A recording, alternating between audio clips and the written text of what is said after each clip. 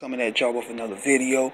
Y'all got a part of my throat is a little sore, but nevertheless, let's get to it right quick. And I want to talk about how the women's main event did not live up to the hype. And I know a lot of video people gonna look at this video and gonna be like, "Oh, you hating? Oh, you're upset that women are main event over the men? Toxic masculinity. I don't want to hear none of that shit. The match just didn't live up to the hype." Because number one, as you could tell by the way they were choreographing this match, there was missed spot, there was call spots, there was botches everywhere. See, I'm gonna put y'all to, on to something what they used to do back in the day. Back in the day, wrestlers used to have matches all over on house shows like Bret and Shawn Michaels, when they had their match in 96, they wrestled for a whole entire month on house shows to get a feel out.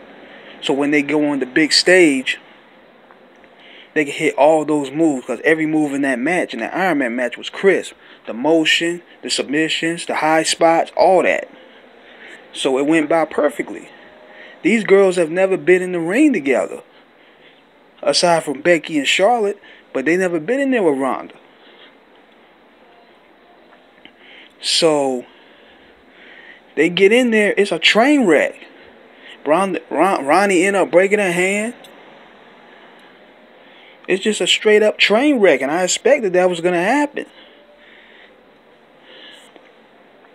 It was totally sloppy.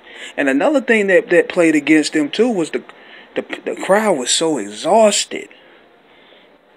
Because honestly, WrestleMania was over when Kofi won the belt. It was over by then. They had to literally drag this thing for seven hours, man. So by the time they got to the main event, the crowd was done. The crowd was tired. So they're gonna have to cut the cut these pay-per-views down. Cause nobody I mean eight hours. Seven, eight hours.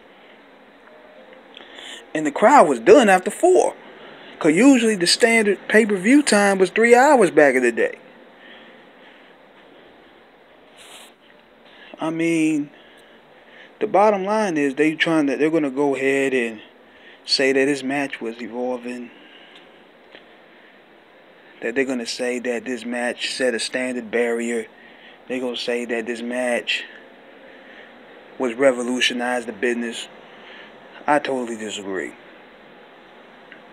I totally disagree. Like, if they would have really did more matches together prior, it would have came out more crisp.